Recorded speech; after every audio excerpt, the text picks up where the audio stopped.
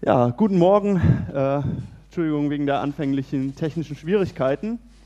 Ähm, ich möchte euch eine kleine Geschichte erzählen. Es war an einem Samstagmorgen im Juni.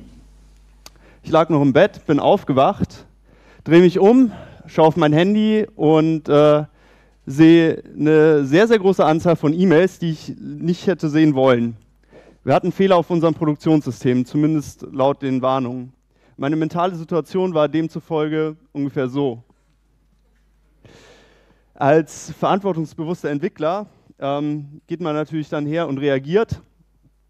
Und zwar als erstes, indem man sich einen Kaffee holt ups, ähm, und dann einen Rechner setzt. Am Laptop habe ich dann gesehen, dass wir im Online-Shop gerade Produkte entfernen. Und zwar ziemlich viele und ziemlich schnell. Jetzt natürlich als Entwickler sagt man, gut, vermutlich ist es meine Schuld und kontrolliert erstmal die eigenen Services. Dafür habe ich die Logfiles der entsprechenden Services durchgeschaut und bemerkt, verdammt, wir sollen das machen. Der Service arbeitet korrekt. Wir haben da wirklich ein Problem. Das ist nicht einfach, dass wir den Service abstellen können.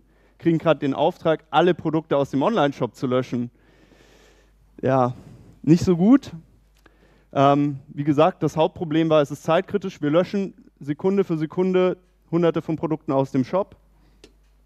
Und äh, als nächstes habe ich dann erstmal die Bereitschaft alarmiert, die wiederum die entsprechenden Kollegen gefunden hat, die erstmal das Löschen stoppen konnten.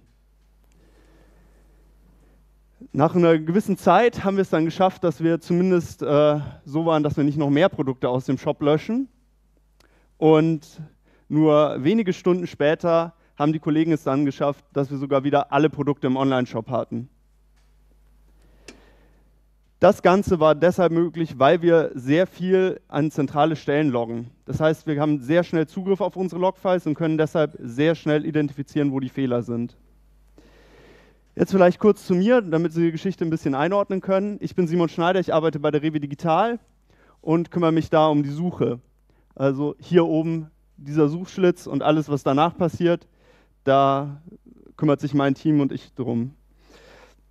Ja, das ist eine kleine Geschichte, wo zentrales Logging halt äh, ein sehr wichtiges Thema gespielt hat. Aber was ist denn die Alternative zu zentralem Logging? Die meisten Leute ähm, kennen wahrscheinlich neben zentralem Logging auch äh, die ganz normale Art von filebasierten Logging. Das sieht dann ungefähr so aus. Wir haben unseren Client, Entwickler-Laptop, Support-Laptop und unsere Server. Und diese Server schicken, äh, die Server schreiben lokal auf die Platte und der Client muss entsprechend hier die Daten anfragen. Wenn wir jetzt zentrales Logging betrachten, drehen wir den Spieß ein bisschen rum. Wir haben wieder unseren Client und unsere Server, aber diesmal haben wir noch eine zusätzliche Komponente, unsere zentrale Log-Datenbank. In die schreiben alle Server ihre Logs und wir können jetzt als Anwender die Logs abfragen. An einer zentralen Stelle und äh, meistens auch sehr, sehr schnell. Jetzt vielleicht mal eine kurze Frage, ähm, nachdem ihr das ein bisschen einordnen könnt, was zentrales und was dezentrales Logging ist. Wer von euch hat denn schon mal mit zentralem Logging gearbeitet? Sehr gut. Wer von euch hat mit zentralem Logging und Elasticsearch gearbeitet?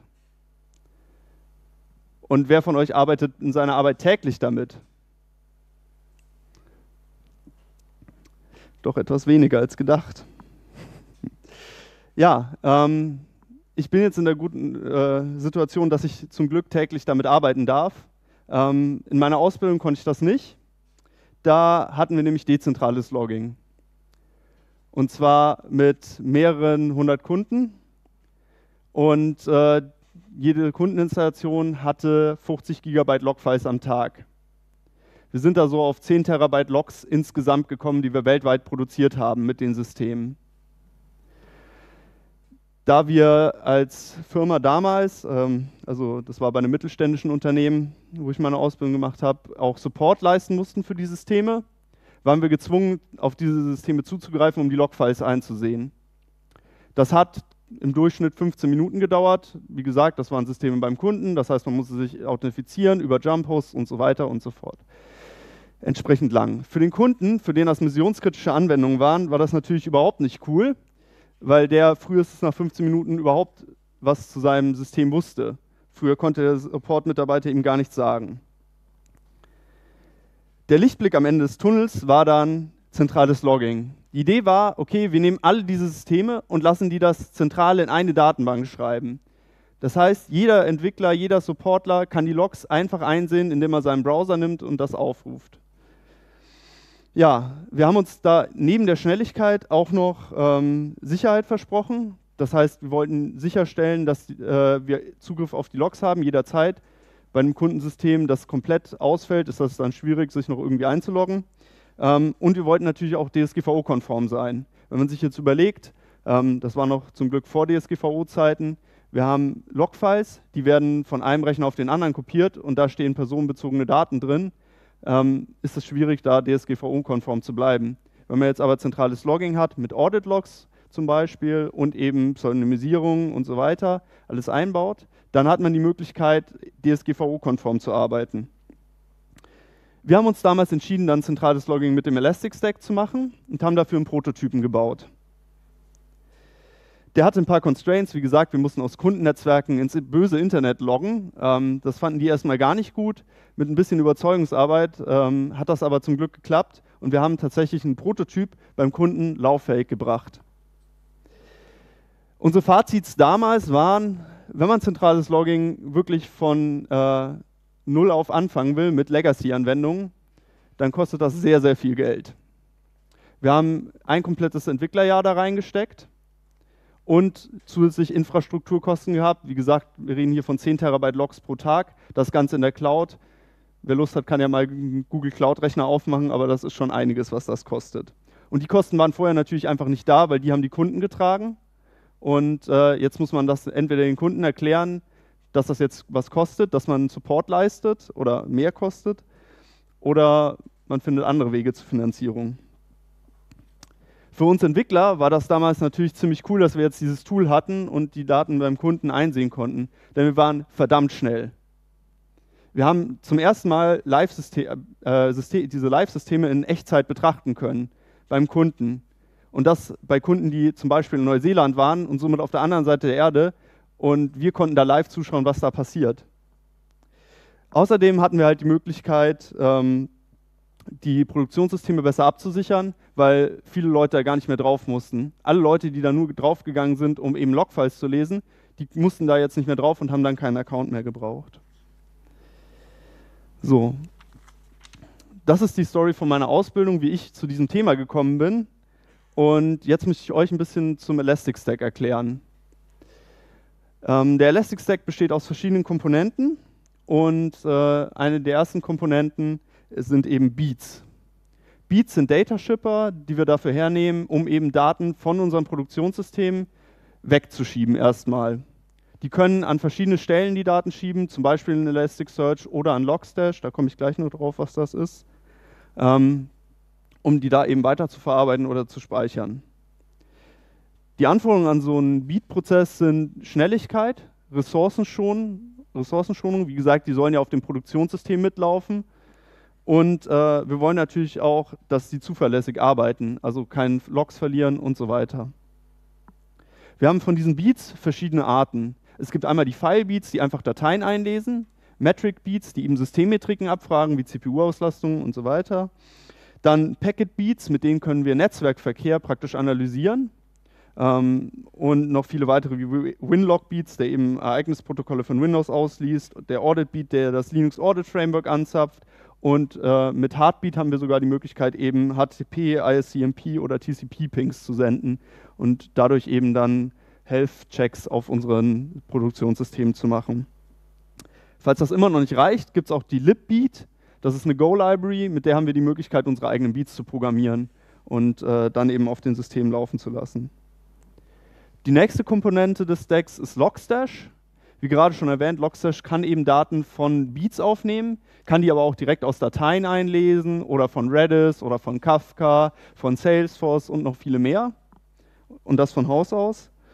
Und wir können dann die Daten mit Logstash aufbereiten. Zum Beispiel DSGVO-konform machen. Wir haben da verschiedene Parser, um Lognachrichten zu zerlegen. Wir können bestimmte Felder löschen, ersetzen. Da werde ich später noch einiges zeigen, wie das alles funktioniert. Und wenn uns das, was Logstash von Haus aus, nicht, äh, von Haus aus mitliefert, nicht reicht, dann haben wir immer noch die Möglichkeit, da Ruby-Code oder Java-Code zu schreiben, der dann eben die Daten entsprechend transformiert. Im Endeffekt, wenn Logstash die Daten bearbeitet hat, geht es einfach her und schiebt die in irgendeinen Output. Da haben wir wieder verschiedene Möglichkeiten, Redis, Kafka und natürlich Elasticsearch, äh, die von mir präferierteste Variante. Die beiden Komponenten, die ich jetzt vorgestellt habe, bilden den Ingest-Layer des Elastic Stacks. Darauf aufbauend ist dann eben Elasticsearch die nächste Komponente, die ich vorstellen will.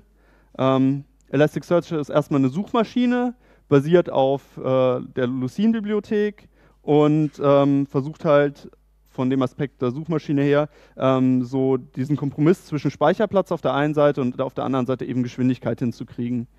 Das heißt, im Normalfall, wenn wir Elasticsearch mehr Speicherplatz zur Verfügung stellen, wird es schneller. Natürlich braucht man noch ein bisschen mehr wie Ressourcen und äh, wie CPU-Ressourcen und RAM, aber Speicherplatz ist meistens einer der Hauptprobleme dabei. Ja, Elasticsearch ist auf äh, 300 Knoten skalierbar, also so ein Elasticsearch-Cluster da kann man auch mal 300 Knoten reinhängen, wenn man will. Ähm, wir sind von der Datensicherheit her, wir, haben wir eben die Möglichkeit, mehrere ähm, Mechanismen einzubauen. Zum einen gibt es die sogenannte Shard Replication. Das heißt, wir duplizieren Daten auf mehrere verschiedene Knoten in diesem Cluster. Und wenn uns das nicht reicht, haben wir immer noch die Möglichkeit, das komplette Cluster mit der sogenannten Cross-Cluster Replication zu duplizieren. Und somit sind alle Daten doppelt vorhanden und wir können sogar ein komplettes Cluster ausfallen lassen, ohne Datenverlust zu erleiden von der Kompatibilität her kann man einfach nur sagen, das ganze Ding hat eine RESTful API. Das heißt, wenn man wirklich äh, so Legacy-Systeme hat, kann man auch mit einfachen Curl-Statements Logs da reinschieben oder zumindest irgendwelche Daten da reinschieben, was sehr, sehr praktisch ist in bestimmten Enterprise-Architekturen. Und auf der anderen Seite ähm, gibt es jetzt seit kurzem auch die Möglichkeit, eben mit SQL Daten aus Elasticsearch zu extrahieren. Das heißt, wir können unsere gewohnte Sprache zur Datenbankabfrage jetzt auch hier drauf nutzen. Ja, Elasticsearch bietet eben den Store, Analyze und Search Layer an. Ähm, da machen wir praktisch alles, was irgendwie Backend-Aufgaben sind, drauf. Und jetzt kommt noch oben drauf der Visualisierungslayer mit Kibana. Kibana ist die Komponente, die uns eben erlaubt, die Daten darzustellen und den ganzen Stack zu verwalten. Den Stack können wir jetzt auf verschiedene Weisen deployen.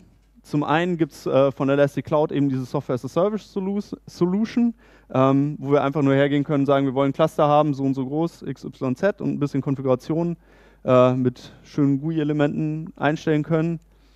Ähm, und dann haben wir ein Elastic Cluster. Das ist sehr, sehr praktisch, um einfach mal damit rumzuspielen.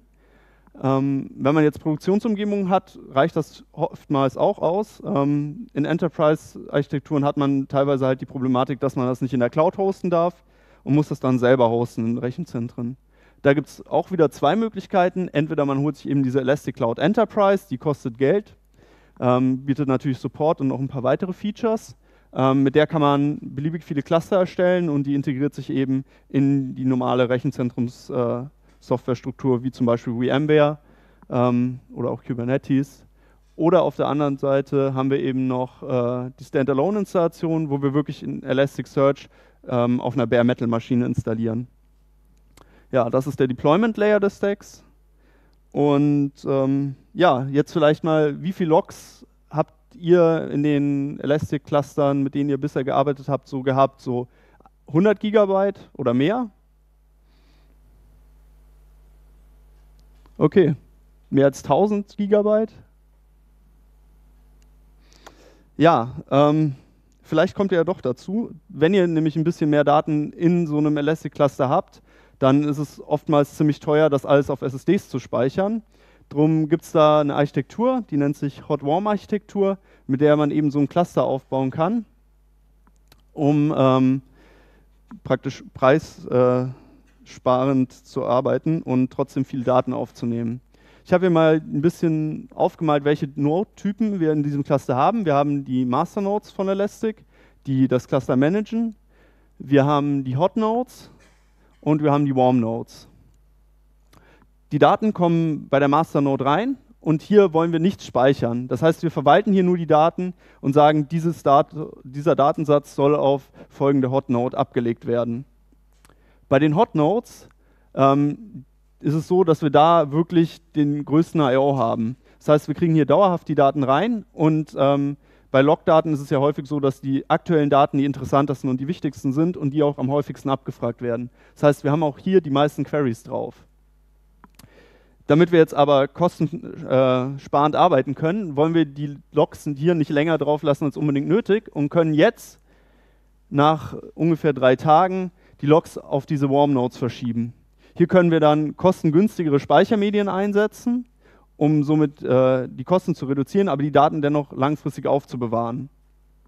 Wenn man jetzt an Logs denkt, die zum Beispiel im Bankenumfeld sind, die dann noch länger als jetzt hier vielleicht 14 Tage oder so aufbewahrt werden müssen, dann ist das schon ziemlich wichtig, dass man eben hier noch äh, billigere Speichermedien hat. Ja, so viel zu dieser Architektur. Jetzt möchte ich ein bisschen was aus der Praxis zeigen. Ähm, wir haben bei Rewe Digital mehrere Elastic Stacks und äh, die sind jeweils für die entsprechenden Umgebungen angepasst. Ich möchte euch hier jetzt mal den Elastic Stack aus unserem Online-Shop zeigen. Der ist wie folgt aufgebaut. Wir haben unsere Docker-Node, da laufen die Microservices drauf, die diesen Online-Shop aus, also aus denen der Online-Shop besteht. Da haben wir Filebeat drauf installiert. Das nimmt die Daten, liest die Daten erstmal ein und wir haben Logstash. Und dieses Filebeat sendet die Daten direkt an das Logstash auf diesem Node. Danach werden die Daten weitergereicht an den Ingest-Node. Dort landen die erstmal in einem Redis, werden dann von einem Logstash hier wieder weiterverarbeitet und schlussendlich in Elasticsearch geschoben.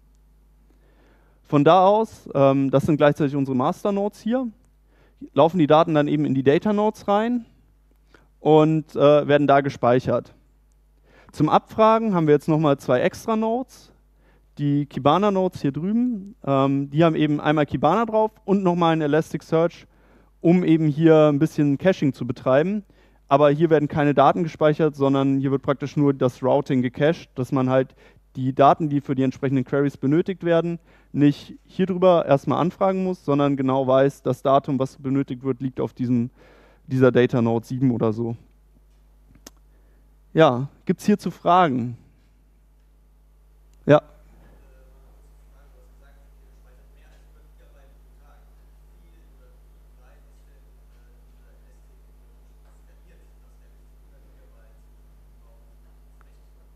Also, ähm, ich kann mal hier nachschauen. Wir haben pro Tag, also die Frage war, ähm, wie das Ganze skaliert ist. Ähm, wir haben pro Tag 510 GB Logdaten im Durchschnitt und äh, die landen in so hier Hotnodes sind ein Tera, äh, die, da, 10, also 10 Hotnodes mit jeweils 1 Terabyte SSD und 64 GB RAM. Also und das auf Bare Metal, weil, damit wir diesen Datendurchsatz überhaupt schaffen. Wir hatten das vorher mal in VMs aber da war das halt so, dass es viel zu langsam war, weil einfach die Virtualisierung von der I.O. Ähm, hat diese Leistung nicht hergebracht. Ja. Und in Warm Nodes haben wir dann nochmal sechs Stück ähm, mit zwei Terabyte RAM jeweils. Äh, Cores, jeweils vier CPU-Cores. Ja. Also an sich ist die Auslastung von den Cores bei den Datennodes gar nicht so schlimm bei denen ist halt wirklich das Problem, wir brauchen sehr viel RAM und halt sehr viel schnellen Speicher. Also wir haben diese SSDs, sind auch alle im RAID 0 geschaltet, also jeweils zwei SSDs in ein RAID 0, ähm, damit wir eben diesen Speed überhaupt hinbekommen. Also dieser Shop wächst ja Tag zu Tag und die Logs werden immer mehr und äh, dementsprechend muss das auch hochskaliert werden. Ja, was ist? Ja? Okay, also die Frage war, wie wir an die Logs äh, auf den Docker-Nodes rankommen. Ähm, das kann ich später auch nochmal zeigen im Live-Coding. An sich haben wir hier eben einfach nur das Filebeat, was diesen Docker-Input nimmt, also, oder Container-Input heißt der inzwischen. Ähm, und der liest die Daten eben ein und schickt die hier direkt an den Logstash. Ähm, ja, ich glaube, nee, der encodiert die nicht mal. Also hier lesen wir wirklich einfach diese Dateien, die Docker schreibt, direkt ein weil Da war, äh, Sekunde, da muss ich nachschauen. Der hier. Ähm, es gibt ja auch dieses Gelf. Das ist was, was Docker standardmäßig anbietet. Ähm, das ist so eine Schnittstelle, mit der man Logs eben übertragen kann. Die ist allerdings von Docker auf 16 Kilobyte pro Sekunde oder so reduziert und irgendwie sind wir an das Limit rangestoßen äh, auf den Nodes und dann hat das nicht mehr so ganz funktioniert. Wir haben eine andere Lösung gesucht und äh, in dem Zuge sind wir eben auf Filebeat umgestiegen. Noch weitere Fragen? Ja.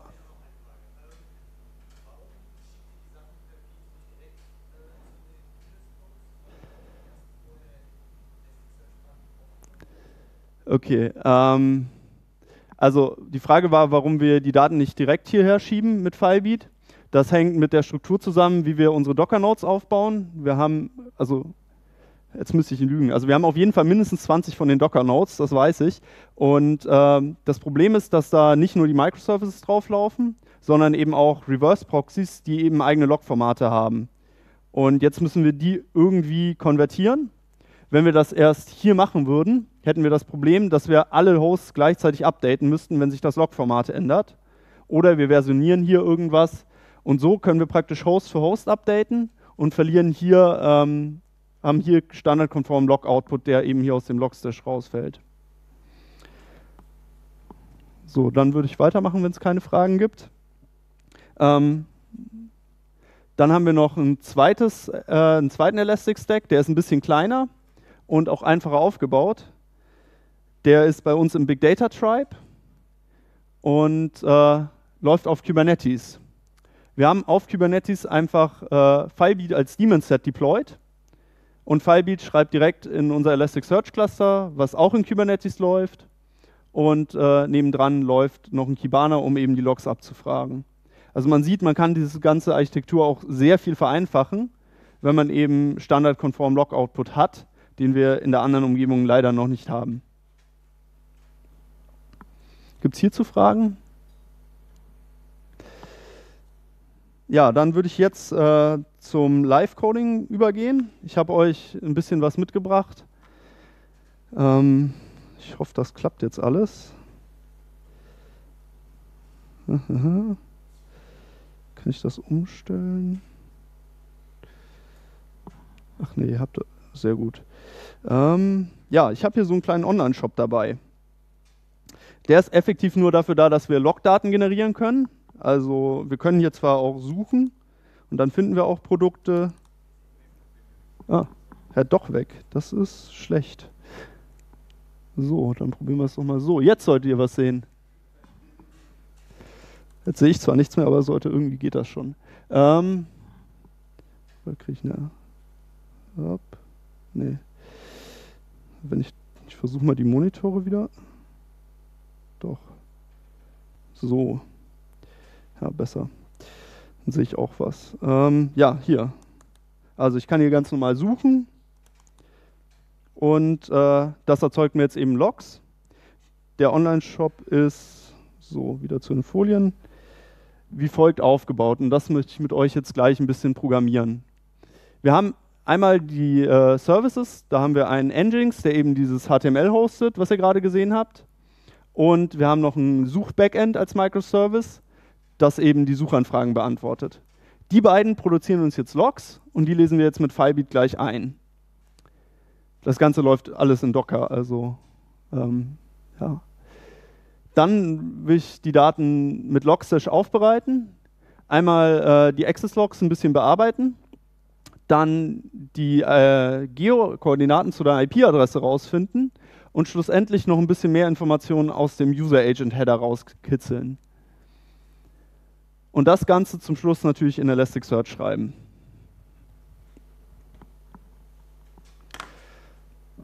So, hier ist jetzt mal der Log-Output, so wie er roh aus äh, den Docker-Containern kommt. Man sieht schon, das ist JSON, aber es ist noch sehr, sehr unübersichtlich. Damit wir jetzt aus diesem Wust ähm, was rauskriegen, haben wir eben jetzt als ersten Schritt, ich mache das mal kurz aus, ne,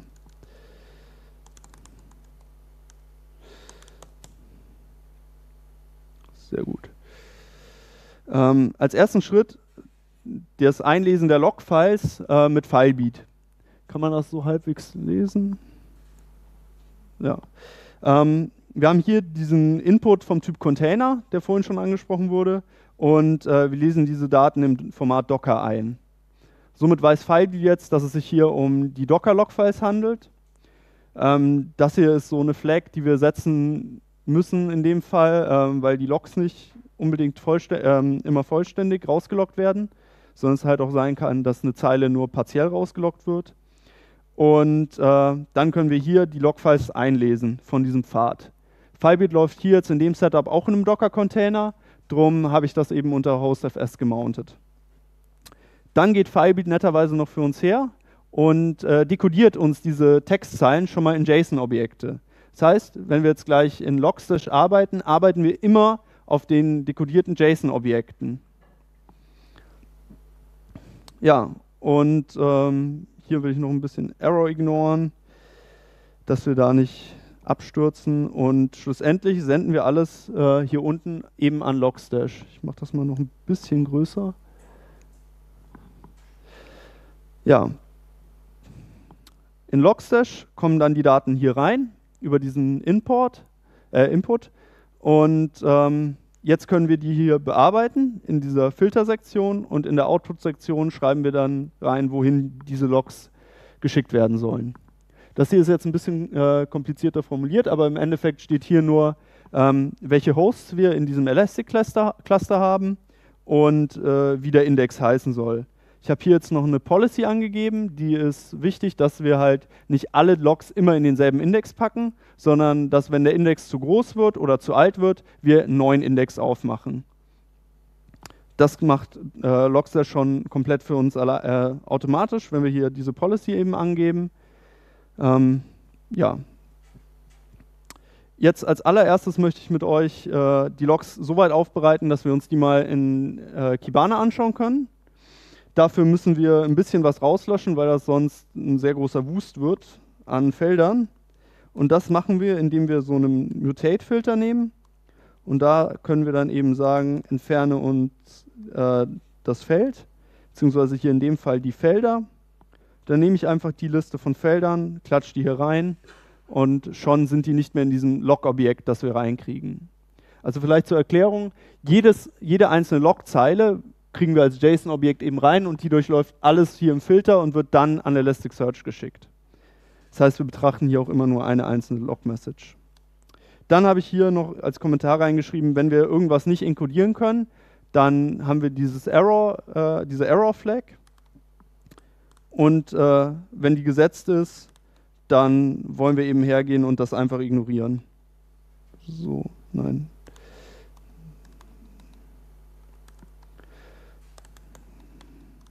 Ignorieren machen wir, indem wir einfach die Logzeile droppen.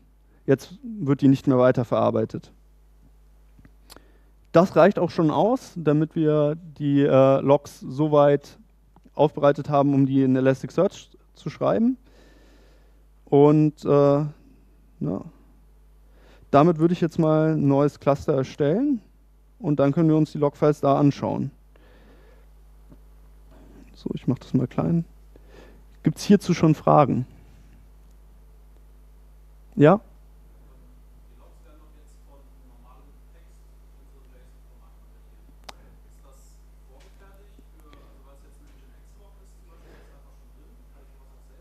Ähm, also die Frage war, wie die Logs aussehen zurzeit, wenn ich das richtig.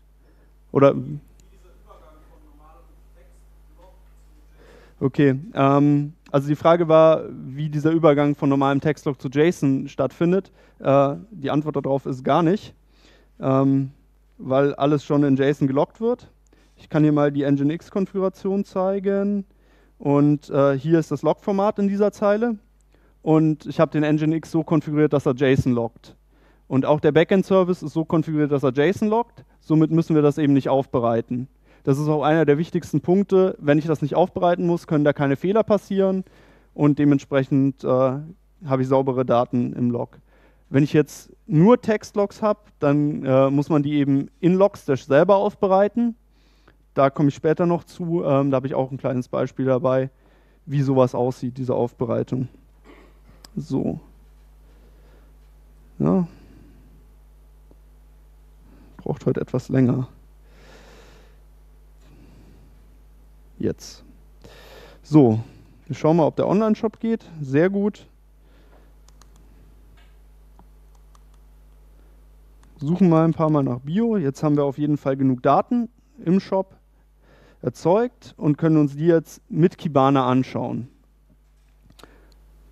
So, ja, ich hoffe, das ist groß genug.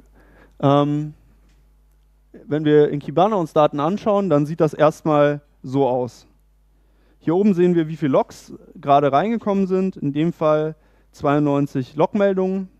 Und äh, die Logs sehen dann erstmal so zerwustelt aus, weil da eben alle Informationen jetzt als JSON reingepackt sind.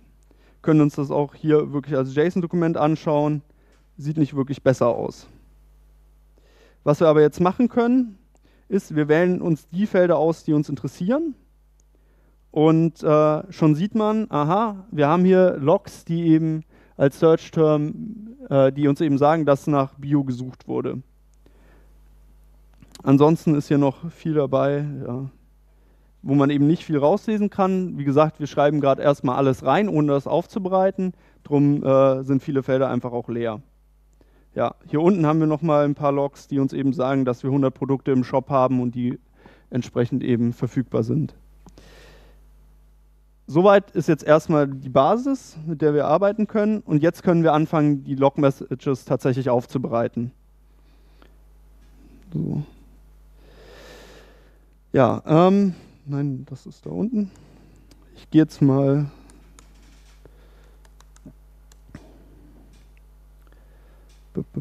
So, ähm, ich habe hier mir Kommentare reingeschrieben, was wir jetzt tun müssen, um die Logs eben aufzubereiten. Im ersten Schritt wollen wir hergehen und herausfinden, ob ein Log von Nginx kommt oder nicht. Dafür schreibt jeder Service rein, wie er heißt. In dem Fall schauen wir jetzt also einfach, ähm, wenn in der Logzeile Nginx drin steht als Service-Attribut, dann äh, ignorieren wir das und gehen weiter. Und wenn da eben nicht Nginx drin steht, dann bearbeiten wir den Eintrag. Da können wir jetzt auch wieder diesen Mutate-Filter nehmen. Mit dem benennen wir jetzt als erstes mal das Attribut MSG um, was wir gerade gesehen haben. In, oh nee, das, doch, ne. Fehler mit den Klammern. Das heißt, wir sind jetzt schon mal, wenn wir zum Beispiel Logs ähm, standardkonform machen wollen, können wir das einfach machen, indem wir solche Felder umbenennen. Und äh, dann haben wir eben auch für Services, die nicht standardkonform loggen, im Endeffekt ein standardkonformes Log. Das ist, äh, das ist für allgemein. Und ähm, jetzt schreibt so ein Backend-Service oder so ein Microservice auch selber noch Access-Logs. Die können wir rausfinden, indem wir eben das, den Log-Type abfragen. Und wenn der auf Access gestellt ist, dann können wir hier diese Access-Logs auch noch bearbeiten, indem wir hier jetzt auch wieder was umbenennen. In dem Fall ist es die Remote Address. Die wollen wir umbenennen in Remote ADDR. So. Ähm, im Weiteren können wir hier jetzt auch noch mehr Aktionen durchführen. Also wir sind pro Filter nicht unbedingt an eine Aktion gebunden, sondern können wir zum Beispiel jetzt auch dieses MSG-Feld löschen. Beziehungsweise, äh, das heißt jetzt Message. So. Und jetzt äh, ist das Log schon mal ein bisschen aufbereitet, weiter aufbereitet. Im nächsten Schritt wollen wir jetzt auch noch hergehen und wollen ähm, die Logs, die der Nginx sendet, aufbereiten. Das können wir ja auch so machen wie oben, nur dass wir hier jetzt eben als Service ähm, Nginx selber reinschreiben. Das heißt, hier fangen wir jetzt alle Logs ab in der if-Bedingung, die vom Nginx kommen. Und ähm, der Nginx hat jetzt ein Feld in seinem Log, das er rausloggt. Das ist das Feld Request. Und äh, das ist jetzt ein Volltextfeld. Das heißt, da stehen Informationen drin, die wir weiter extrahieren wollen. Und äh, das macht man mit sogenannten Grok-Pattern in Logstash. Da kann man dann eben hergehen und ähm, sagen, okay, ich habe dieses Feld Request und ich möchte da folgendes raus extrahieren. Ich habe jetzt mal sowas vorbereitet, weil da vertippt man sich schnell. Ähm, so. das ist jetzt das Pattern, was wir auf dieses Feld anwenden wollen. Das sieht jetzt überhaupt nicht groß nach regex aus, es ist aber im Prinzip nur ein riesiges regex. Dazu muss man wissen, dass wir dieses Word und dieses Not Space und Number vordefiniert haben. Ähm, da liegen einfach regex-Pattern dahinter. Und Request Method, URI und HTTP-Version sind einfach Benamungen für diese Gruppe, die wir da fangen wollen. Das heißt, wir matchen jetzt äh, unseren Text, der reinkommt, gegen dieses große regex-Pattern und im Endeffekt fallen dann eben diese drei Attribute raus, einmal Request Method, URI und HTTP-Version. Wenn man jetzt keine JSON-Logs hat, sondern äh, normale Text-Logs, dann kann man mit diesem Grok-Pattern auch diese kompletten Text-Logs eben zerlegen um so die Informationen, die da drin stehen, rauszubekommen. So. Ähm, nachdem wir jetzt dieses Request-Feld ähm, entsprechend gepasst haben, können wir das im nächsten Schritt auch wieder entfernen.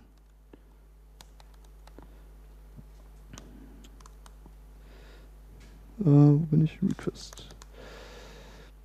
Und äh, ja, dann habe ich vorhin gesagt, wir wollen jetzt die Geokoordinaten zu einer IP-Adresse wissen. Das sind im Endeffekt drei Zeilen. Man schreibt nämlich nur Geo-IP. Dann sage ich, wo die IP-Adresse drin steht, in welchem Feld, die er verwenden soll, um eben die Geo-IP rauszufinden. Und dann erstellt er zwei neue Attribute, wo eben die Geokoordinaten drin liegen. Und das kann man sich dann später auch auf der Karte anzeigen lassen. Im nächsten Schritt habe ich ja noch gesagt, wir würden gerne auch mehr Informationen zum User Agent wissen. Im Prinzip ist es hier wieder dasselbe. Das können wir eins zu eins kopieren. Nur dass wir hier natürlich jetzt nicht die Remote Address, sondern das Logfeld User Agent verwenden wollen. Ja, da der User Agent aber selbst mehrere Attribute hat, wollen wir die nicht in den Root der Log Message, sondern unter ein eigenes Attribut klemmen, äh, dementsprechend müssen wir jetzt ein Target angeben, also in welches Attribut äh, die Daten geschrieben werden sollen. Ähm, ich benenne das jetzt mal User Agent. Und wie oben auch können wir hier das Feld, was wir ursprünglich verwendet haben, löschen. So. Damit haben wir jetzt die komplette Pipeline fertig, mit der wir unsere Logs parsen wollen. Und ähm, ich gehe mal sicher, falls ich mich vertippt habe, ähm, hole ich mir mal lieber den Stand, den ich vorher ausprobiert habe. Ist immer ein bisschen gefährlich bei so Live-Demos, sich da. Ah, das ist noch falsch. Ja. So. Und dann können wir den ganzen Stack wieder von neuem erstellen. Das ist jetzt notwendig, damit wir halt wirklich äh, keine Daten mehr drin haben und die Veränderungen zuvor sehen können. Gibt es hier Fragen? Ja?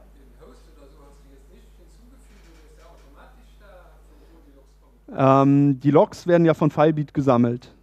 Also wir haben hier diese Filebeat-Konfiguration und die nimmt alle Docker-Container, die auf diesem Host, also die, auf, die er jetzt zur Verfügung hat, also die, die ich hier reinmounte, ähm, die werden alle eingelesen. Das Problem ist, ich habe zum Beispiel jetzt auch Postgres-Datenbanken drauflaufen, die loggen nicht in äh, JSON. Das heißt, hier fliegen viele Errors, die wir aber zum Glück ignorieren können und äh, dadurch ich, muss ich jetzt gar nichts hinzufügen, weil er einfach alles nimmt, was er irgendwie kriegen kann.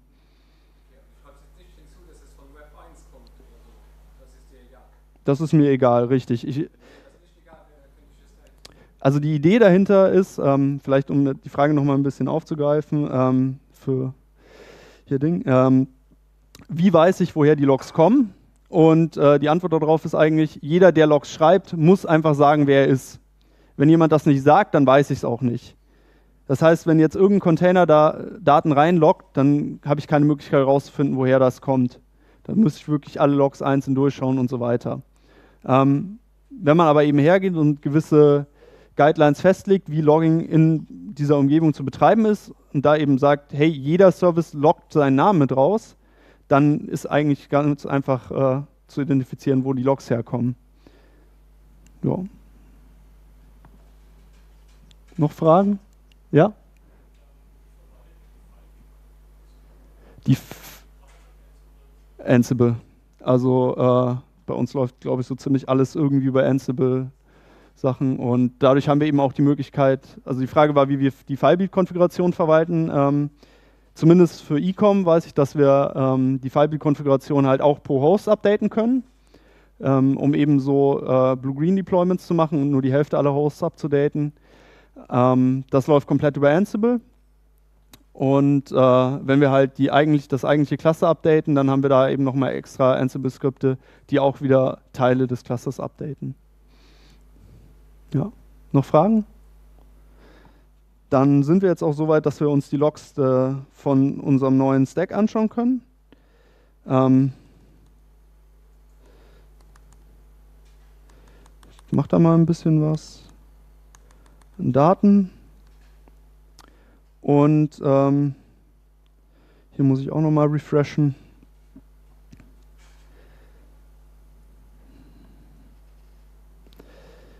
So, wir sehen schon, wir haben hier in dieser Message-Spalte gar nichts mehr drinstehen, weil dieses Attribut gibt es nicht mehr, das haben wir ja umbenannt. Da können wir uns jetzt ähm, da, das Neue holen. Und ähm, jetzt wollen wir natürlich für irgendwelche Services zum Beispiel filtern. Das heißt, wir haben jetzt die Möglichkeit, ähm, hier nach diesen beiden Services zu filtern. In dem Fall möchte ich jetzt alles, was zu Search gehört, wissen.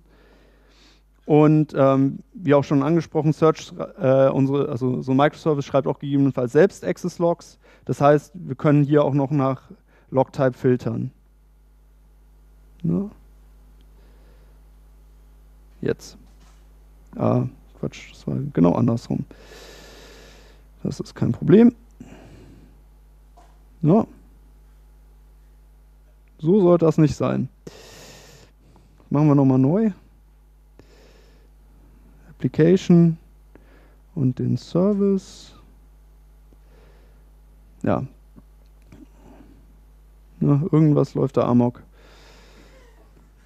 Gute Frage, was das ist. Ähm, interessiert mich jetzt nicht groß.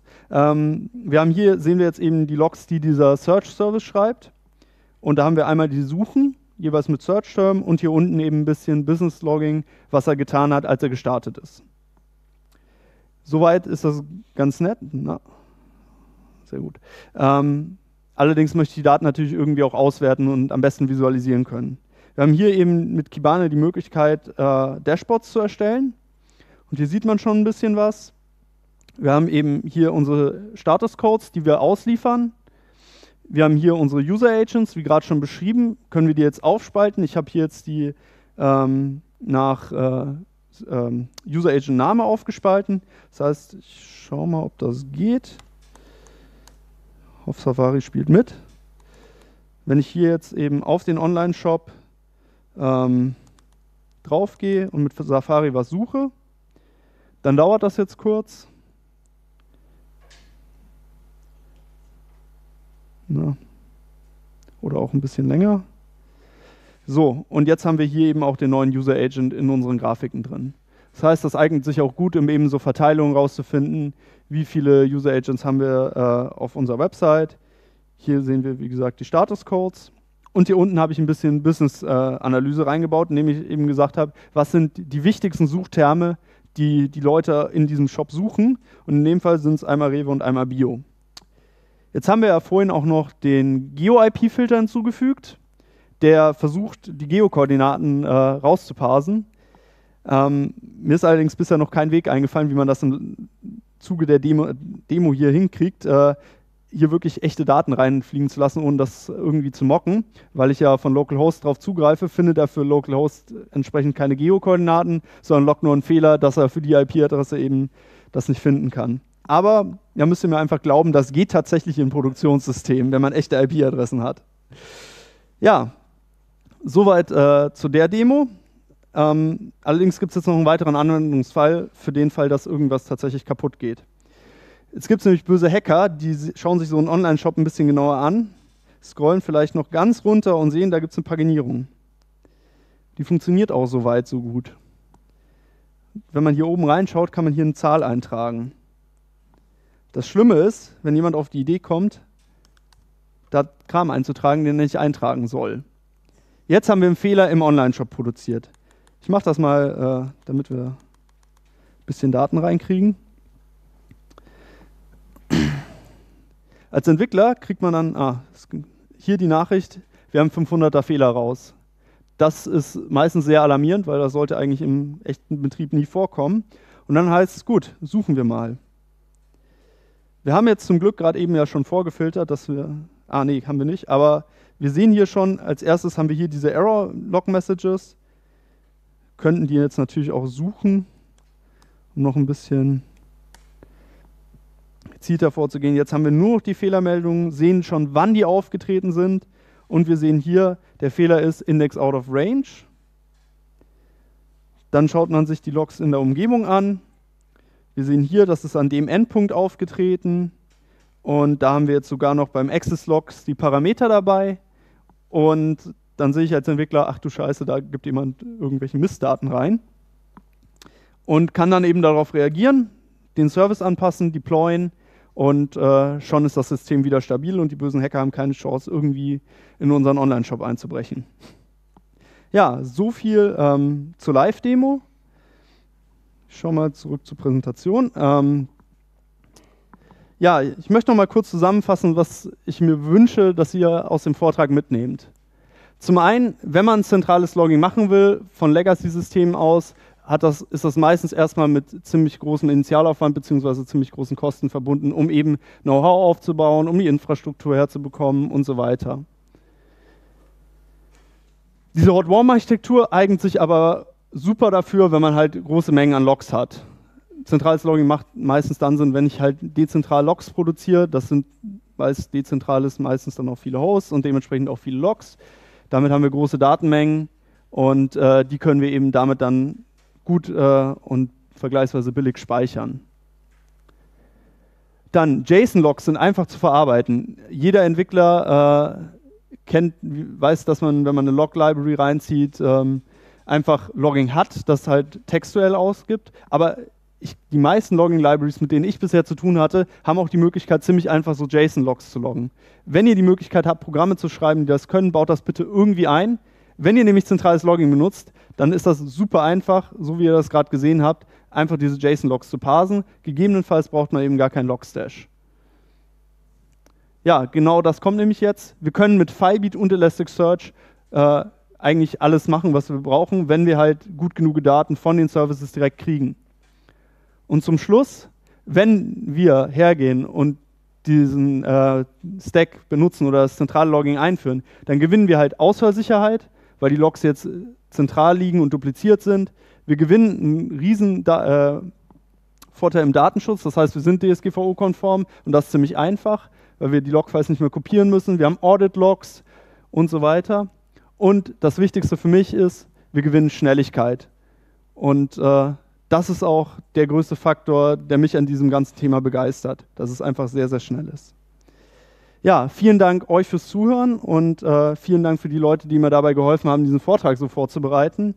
Ähm, ja, ansonsten, wenn ihr noch Fragen habt oder so, entweder auf mich zukommen oder Twitter, GitHub. Ja, vielen Dank.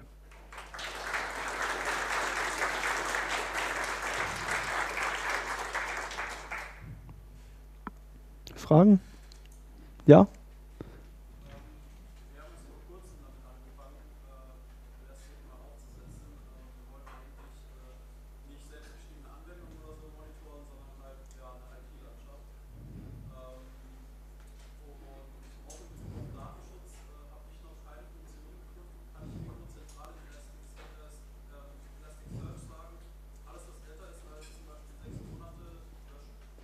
Ähm, ja, die Möglichkeit gibt es, wenn man eben diese Hot Warm Architektur benutzt. Dann legt man praktisch für jeden Tag einen neuen Index an und sagt ja auch, nach einer bestimmten Zeit löscht du mir die bitte. Ähm, bei uns ist das jetzt 14 Tage. Und ähm, im Normalfall löscht man halt einfach diesen kompletten Index. Das heißt, man sagt einfach, diese Retention Time für, die, für einen Index sind, weiß ich nicht, sechs Monate oder so. Und dann wird der von Elasticsearch automatisch gelöscht. Also alles, was da drin steht. Man kann aber auch vorher noch hergehen und praktisch die Daten aggregieren und damit oder halt DSGVO-konform machen, dass man die auch langfristig aufheben darf. Und dann kann man die eben in dieser aggregierten Form auch langfristig aufheben. Ja? Ja? Habt ihr andere kommerzielle äh, Systeme auch mal evaluiert? So, weiß ich nicht, Curator, Logarithm, ArcSight, so diese sag mal, also, kommerzielle, nicht Open Source Welt? Ähm, also während meiner Ausbildung haben wir mehrere verschiedene Systeme evaluiert. Wir, die erste Idee war, wir bauen Zabbix so um, dass Zabbix das kann. Das war eine sehr schlechte Idee. Ähm, darum haben wir die auch zum Glück verworfen. Dann haben wir uns noch Splunk angeschaut als Alternative. Ähm, da war aber halt das Problem, dass Splunk uns nicht garantieren konnte, dass die tatsächlich mit den Logmengen so zurechtkommen, was sie eigentlich hätten tun können, aber weiß auch nicht. Äh, ja, das außerdem. Ähm, und dann sind wir eben bei Elastic hängen geblieben, tatsächlich, weil wir einen Entwickler hatten, der bereits Erfahrung damit hatte und der hat das ganze Thema auch schon mal für einen Service umgesetzt.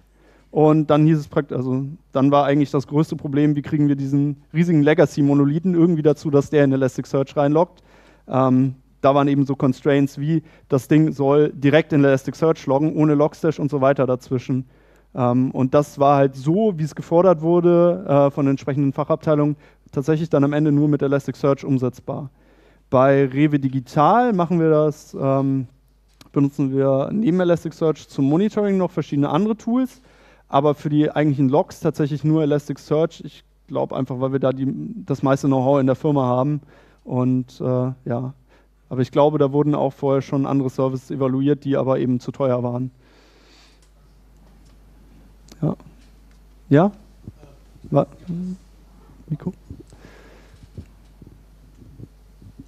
Hi. Ähm, ich weiß nicht, ob das mittlerweile funktioniert, aber in deiner früheren Firma hattet ihr ganz viele Mandanten und ein zentrales Logging und ähm, konntet ihr oder habt ihr irgendwie sichergestellt, dass bestimmte Leute nur auf bestimmte Mandanten zugreifen dürfen oder durfte jeder alles sehen? Und wenn, äh, gibt es eine Möglichkeit, das äh, ja, mandantenfähig zu machen, dass man sagt, okay, ähm, es gibt einen Index oder vielleicht verschiedene Indexe, aber nur ein Kibana und äh, jo, die Person darf auf den einen Index und nicht auf einen anderen Index etc. Ja, also äh, genau das geht eben, wenn man für jeden Kunden einen eigenen Index anlegt, was sehr zu empfehlen ist bei äh, solchen Mengen. Und dadurch haben wir dann eben eingrenzen können, dass eben auch nur die Support-Mitarbeiter, die für diesen Kunden zuständig waren, Zugriff auf die Logs hatten. Ähm, die Logs tatsächlich an Kunden wieder zurückzugeben, war einfach zu riskant, weil wir selber noch nicht genug Know-how hatten zu dem Zeitpunkt, um eben sicherstellen zu können, dass ein Kunde nicht doch irgendwas sieht. Aber zumindest theoretisch geht das und wir haben das auch praktisch evaluiert, dass es so funktioniert. Also, ja. Und das auch nur mit einem Kibana-Interface? Genau. Und ja. in der freien Variante oder in der. Äh ah, das geht in, ich weiß nicht, ob es inzwischen in der freien Variante geht. Ähm, wir haben das damals eben komplett bei Elastic Cloud gehostet gehabt weil wir keine Möglichkeit hatten, so viele Daten irgendwo hinzuschieben als eben in die Cloud. Und da haben wir das Xpack-Plugin dabei. Mhm. Ähm, das ist auch bei, also gerade wenn man solche Sachen macht, sehr zu empfehlen, einfach zu benutzen. Ähm, weil wir eben so Sachen wie LDAP-Anbindungen oder eben auch, was ich ziemlich cool finde, die Machine Learning-Features, die jetzt eingebaut wurden, ähm, einfach dabei hat. Und äh, ja, wenn man in die Cloud geht, hat man es sowieso. Aber genau für diese Multitenant-Fähigkeit ist das halt das Nonplusultra und ist auch super gut umgesetzt, sehr einfach zu konfigurieren. Ja. Ah, okay. Geht die Multitenant-Fähigkeit auch? Okay, also aber seit 7.2 ist das. Genau, seit, genau, seit 7.2. Äh, ja. Uh, Role-Based Access Control sind dann kostenlos verfügbar auch. Ja.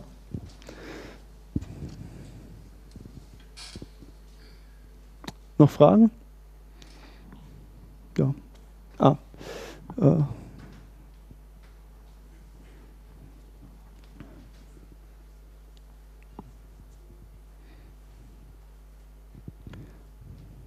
äh eine kurze Frage noch. Ähm, wie verhält sich denn der Filebeat oder der Elasticsearch, äh, der, der Logstash, wenn der Host nicht erreichbar ist, also die Masternode?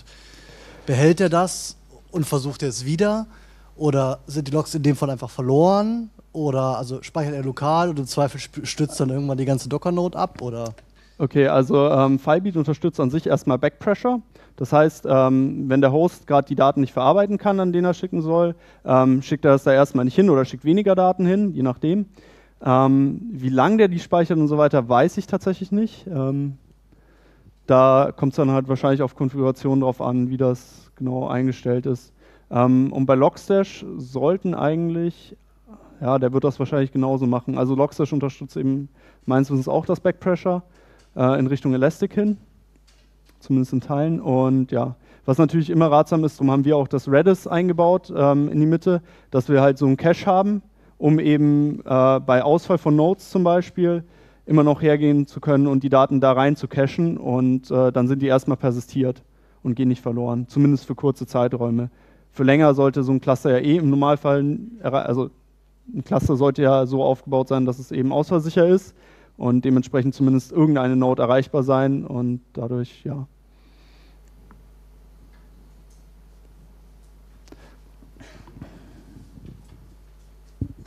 Äh, sichert ihr die Daten noch zusätzlich, Backup oder irgendwas? Ähm, bei uns ist das jetzt nicht, nee, also meines Wissens tun wir das nicht. Ähm, simpel aus dem Grund, weil es viel zu viele sind. Also wir haben, eine Sekunde, wir haben im Stack selber, glaube ich, so um die 6, ja, 6 Terabyte, nee. Dop, irgendwo habe ich es aufgeschrieben. Ah, hier. Ja, doch 6 Terabyte an Logdaten. Das heißt, wir haben die äh, doppelt.